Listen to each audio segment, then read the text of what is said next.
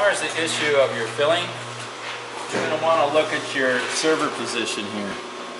For us, the one, one, uh, 110 is giving us about 10 grams. So if you're not getting enough, you say you're running 9 grams, you can increase that value.